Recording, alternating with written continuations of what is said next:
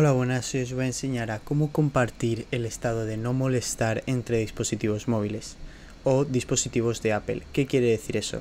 Si por ejemplo yo tengo un iPhone y quiero poner el modo concentración, el modo no molestar y también quiero que se active el no molestar en mi iPad y en mi Mac, Apple nos da esa opción. O si por el contrario solo queremos que cuando yo ponga el modo no molestar en mi dispositivo móvil no se efectúe también en el Mac y en el iPad, os voy a enseñar a cómo desactivar esta función.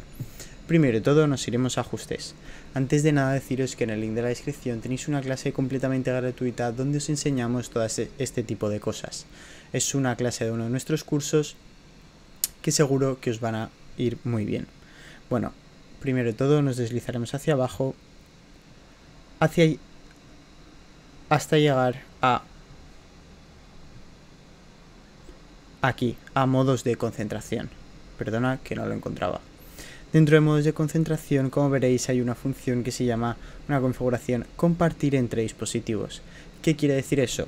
Pues vemos, los modos de concentración se comparten entre todos tus dispositivos. Si activas uno de este dispositivo, también se activará en el resto.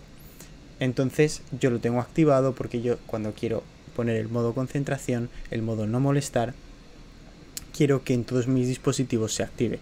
Pero si no lo queréis, vosotros lo quitaríais y ya está, ya estaría desactivado. Así que nada, hasta luego, gracias.